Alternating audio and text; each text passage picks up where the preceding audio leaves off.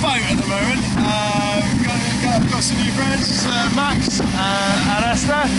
Uh, they, uh, they're from Germany originally, but they live in Mexico City at the moment. Um, I, I think I'm going to take a detour there because it sounds pretty, pretty bloody cool. Um, so the reason we're on a boat is we're going to try and go see some whales today. Um, this nice guy Edwin's taking us out.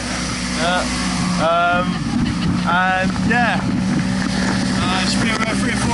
and hopefully we'll see some massive whales. Yeah.